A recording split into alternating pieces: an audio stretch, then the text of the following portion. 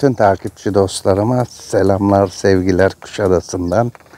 Yeni bir video ile tekrar beraberiz. Sıcak bir günden sesleniyorum sizlere. Gerçekten bütün ülkemizi bunaltıcı bir hava sarmış durumda. 40 derece bir hava sıcaklığı bekleniyor bugün. E, Ama bizim burada Kuşadası'nda hava sıcaklığımız 30'un biraz üzerinde. 32 ile 34 arasında şimdilik seyrediyor e, diyebiliriz. Ama yarın Aydın ili olarak 40 derece 44 derece daha doğrusu hava sıcaklığı bekleniyor. Kuşadası'nda elbette bayram yaklaştıkça bayram trafiği artmaya başladı. Bunu yollarda görmek mümkün. Arabayla yola çıktığınızda bazı kavşaklar e, çok sıkıştığı için e, bu trafiğin sıkışmasına neden oluyor. Trafikte kavşakların durumu zaten belli ülkemizde.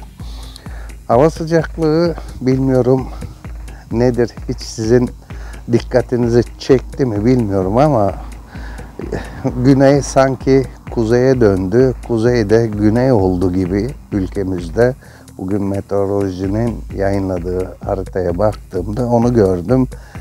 Akdeniz bölgemiz güney 29 derece hava sıcaklığı ve biz kuzeyde olduğumuz halde daha sıcak. Özellikle Aydın ül- ülkemizin batı kesimleri 40-44 derece olarak görünüyor. Karadeniz keza öyle, İstanbul keza öyle. 37-40 dereceye yakın sıcaklıklar görünüyor. Meteorolojinin yayınladığı haritada, tahminlerde. E, çok ilginç geldi bana. Bunu da sizinle paylaşmak istedim. Bayram trafiği daha da çoğalır diye düşünüyorum. Dikkat edin kendinize. Çünkü şapkasız kesinlikle çıkmayın dışarı.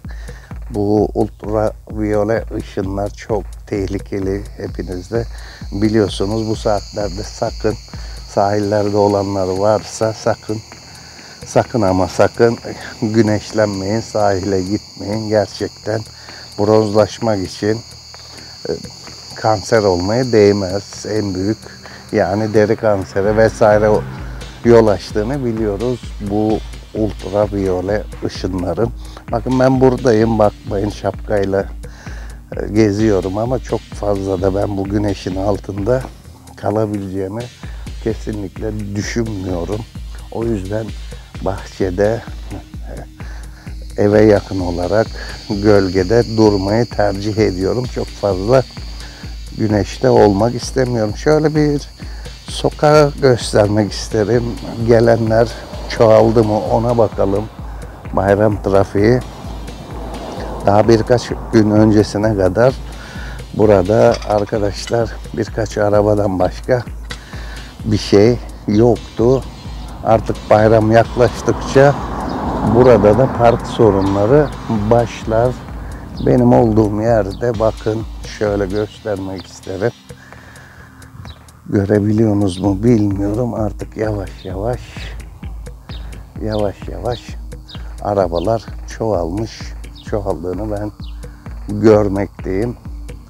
Bakalım okullar tatil oldu olmak üzere üniversite sınavları veya bütünleme sınavları artık bunlar da bitmek üzere. Bü- Bütün yazlıkçılar özellikle bu havalar böyle gittiği müddetçe yazlıklara, tatil yerlerine hücum ederler diye düşünmekteyim. Hiç kimse sokakta yok, bizden başka kimse yok sayılabilir. Trafik hariç elbette. İnsanlar gölgede, evlerinin önünde ya da klimanın altındalar. En azından ben öyle yapıyorum. Öyle yapmaya çalışıyorum. Bu videom için çıktım zaten. Buraya çok fazla da ben burada kalmak istemiyorum. Dediğim gibi hem gürültü var burada hem de sıcak. Sıcakta güneşin altında çok fazla bu saatte olmak istemiyorum. Zaten biraz sonra da işim var.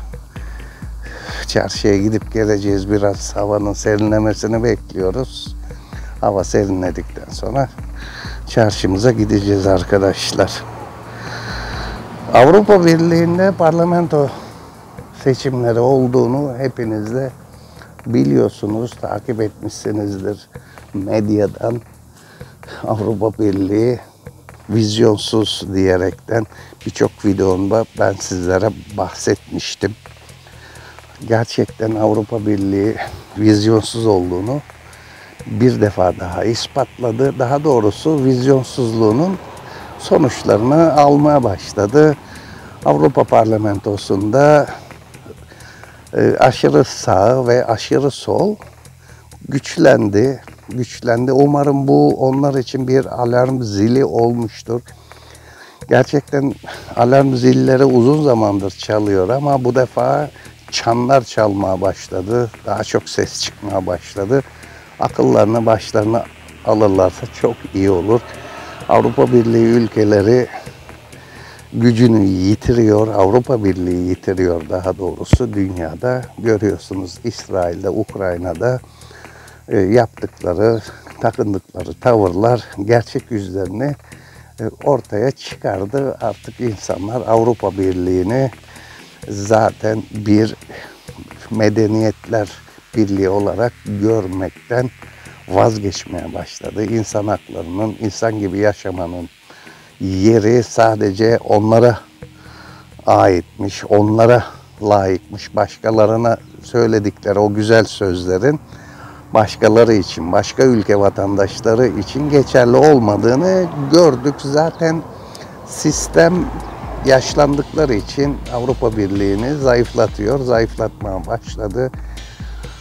Ee, Avrupa'da sadece bunun sebebi yabancı düşmanlığı vesaire değil bu aşırı sağın veya aşırı solun güçlenmesinin ardında yatan Avrupa Birliği'ne e, bunlar karşı geliyorlar. Sadece tek bir sebep değil birçok faktör etken olduğunu hepimiz biliyoruz. Bunlar pek fazla dile getirilmiyor ya da görmek istenilmiyor. Ama artık yavaş yavaş bunlar görmeye başlamalıdırlar. Vizyonsuzluğu ne zaman yaptılar? Türkiye açısından konuşmak gerekirse arkadaşlar, Türkiye'yi güçlü bir ülkeyi, Türkiye gibi güçlü, kritik, stratejik bir yerde bulunan ülkeyi yanlarına, içlerine daha doğrusu almadılar. Yanlarında tutmaya çalıştılar ama içlerine almadılar. Zaten orada kaybettiler. Avrupa Birliği'nin güçlü bir ordusu yok. Avrupa Birliği ülkelerinin Türkiye her yönden muhtaçlar ordusu olarak olsun, stratejik durumu sebebiyle olsun, tampon olarak olsun, enerjiye erişim olarak olsun, Orta Doğu'daki enerji olsun, Akdeniz'deki enerji olsun, Asya'daki Türk Cumhuriyetlerindeki enerji ve madenler olsun çok kritik durumda. Bunlar neyi seçtiler bence? Türkiye'yi zayıflatarak yani kendi istedikleri bir kendilerini dinleyen Kılıçdaroğlu gibi adamları öyle diyeyim. Çünkü Kılıçdaroğlu belki öyle değildir ama öyle bir resim verdi onlara veya bazı partiler öyle diyeyim. Artık isim söylemek istemiyorum. Kılıçdaroğlu siyasetten silindi gitti. E, silinmemek için elinden geleni, geleni yapıyor ama bu defa yıllara karşı koyamaz. Belki bir şeyler becerir ama önünde artık politika yapabileceği yaşı e, itibarıyla öyle çok bir zamanı yok. Bunun da farkındadır diye düşünüyorum ya da farkında varmak istemez insan. Avrupa Birliği'nin vizyonsuzluğu da belki buna benziyor. E, bunlar Türkiye'nin önemini görmek istemediler. Türkiye'yi e, istediklerini yaptırabiliriz zannettiler. Kontrol altına alabiliriz zannettiler ama e, sonuç ortada görüyoruz. Yeni bir düzen kuruluyor dünyada ve o yeni düzende Türkiye güçlü olarak yerini alıyor. Al, almalıdır da zaten Türk çağı, Türk yüzyılı gerçekten büyük fırsat bizim için ama bizi yönetenler bizim Türk halkını kesinlikle unutmamalıdırlar.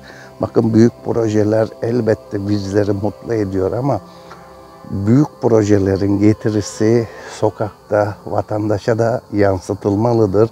Emeklilerimizin durumu kötü. Çok kötü. Elbette şanssızlıklar oldu. Korona oldu, depremler oldu ülkemizde. Birçok ekonomik krizler yaşadık ama artık öf, Avrupa Birliği'nden daha şanslıyız biz. Bizde yağ var, şeker var, su var, un var. Artık helva yapmasını öğrenmeliyiz. Biz her şeyimizi dış ülkelere ver, verip de onlardan hazır helva almamalıyız. Bizler bunu öğrenmeliyiz. Çıraklık dönemi bitti, bitsin veya acemilik dönemi bitmesi lazım. Bu vizyonsuz diyerek Avrupa Birliği bunlara küs küsülmemeli. Tam tersine bizler güçlenip e, dünyadaki yerimizi almalıyız ama halkımızla beraber almalıyız. Devletin güçlü olması elbette halka yansır ama halka yansıtmıyorsanız başka gruplara, belirli gruplara yansıtıyorsanız bunu yani büyük firmalara bunu yansıtırsanız ve büyük firmalar ülkesinin halkına bunu yansıtmazsa yatırımlarla, iş imkanlarıyla e, bu başarısız bir proje olur. Elbette Türk Devletler Teşkilatı'nı kurmayı düşünüyoruz. Büyük projeler peşinde koşuyor devletimiz, yöneticilerimiz, devlet adamlarımız. Ama dediğim gibi destek sağlayabilmeleri için halka da bir şekilde bunları yansıtmalar lazım, umut vermeleri lazım. 20 kusur senedir ülkemizin halkı bu iktidarı umutla destekledi ama iktidar e, farkında mıdır bilmiyorum. Halkımızın gerçekten umudu tükendi, bitti. Ha bugün, ha yarın derken artık 10 e, bin lirayla, 15 bin lirayla, 20 bin lirayla ülkemizde arkadaşlar geçinilmez hale gelindi. Bunu da dikkate alacaklarını ben düşünmekteyim. Çünkü gittiğimiz yön o kadar e, iyi bir yön değil. Şu şekilde belki her gecenin ertesinde bir aydınlık bir güneş doğacak ama o güneşi doğmadan ölenler olursa çok olursa o zaten işin kritik tarafı, kritik noktası mümkün olduğunca bütün halkımız o güneşi görebilmeli. Bu karanlıkta çıkınca birkaç kişi bu güneşi gör, görürse bu da amaçlarımıza hizmet etmez. Amacımıza varmış olmayız. Çünkü yeni düzen kuruluyor dünyada. Bakın Rusya nükleer silah tatbikatları yapmaya başladı. Artık büyük kozlar, büyük kartlar, büyük potlar dönüp dönmeye başladı bu oyun masasında, diplomasi masasında Finlandiya gibi kuzey ülkelerinin yakınında Rusya nükleer nükleer silah tatbikatları yapmayı planlıyor. Belki de başladı. Hatta bu baskıyı Amerika'ya daha yapmaya çalışıyor güneyinden Kübası vesairesi. Yani eski kartlar tekrar masaya getirildi. Bakalım Umarım bir hata yapmazlar. Sadece blöften ibarettir bu. Amerika ve Batı ne kadar karşı gelse de batıyor, dağılıyor. Elbette bu bugünden yarına olacak bir şey değil ama bunlar en azından gerileme devri başladı eğer bir çözüm bulmazlarsa. Çünkü Avrupa halkı, Batı halkı bu sistemlerinin kurbanı oldu kimse çocuk yapmadığı için arkadaşlar yaşlanıyorlar ve gerisi yok. E, yabancılara hem düşmanlar hem de yabancılara muhtaçlar. E işte yukarı tükürsen bıyık, aşağı tükürsen sakal durumundalar. Zamanında Türkiye'ye aldattılar Kıbrıs'la, Yunanistan'la vesaireyle, gümrük birliğiyle hep bunu yaptılar ama artık bu bu kadar bundan sonra aynı kartları, aynı oyunları oynayamayacaklar. Oynama takatları olmayacak diye ben düşünmekteyim. Hiç kimse iktidarı bırakmak istemiyor. Amerika küreselciler artık kimse dünyayı yöneten veya elinde tutan bakın neler yapıyorlar. Ukrayna savaşı çıkardılar. İsrail sorununu çıkardılar. Tayland sorununu çıkaracaklar. Bu Çin'in yakınında. Bütün tehditleri e, aynı bir mafya veya batı haydutları misali korkutarak blöfle bizi Akdeniz'de yaptılar. Nasıl yaptıklarını biliyorsunuz. Gemilerini, savaş gemilerini göndererek, korkutarak, höt diyerek bizim bizi onların her dediğini yapacağımızı sandılar veya en azından denediler arkadaşlar. Böyle bir sıcak günden sizlere seslenmek istedim. Çok uzun olsun isteme, istemiyorum videomun. Burada ben bu videomu bitirmek istiyorum. Bir sonraki videomda görüşmek üzere diyorum. Takipte kalın, sağlıcakla kalın, esen kalın, hoşça kalın. Videomu sonuna kadar izleyen bütün takipçi dostlarıma teşekkürler. Hoşça kalın diyorum tekrardan.